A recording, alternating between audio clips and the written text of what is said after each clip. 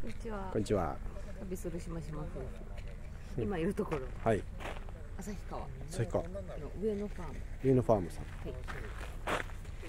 さっきは代表の上野さんうんがもう取れたもう撮ってましたね。うん。すごい。個人でねここまで。そうなの、うん。そうかもね。うん。すごいね。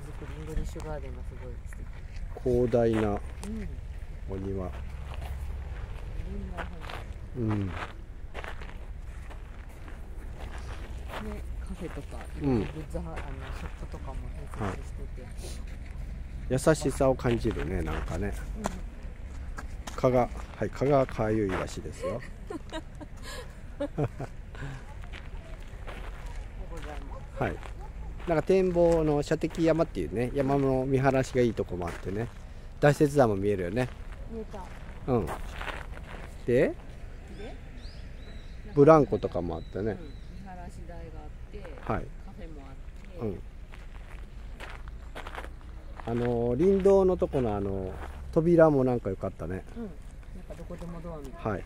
すいませんあの無編集なんでこれピッと出したりできないんですけど、あの映えるねいい感じでしたね。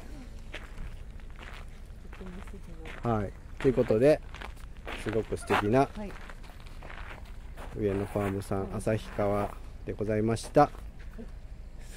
はい、締めていただけませんか。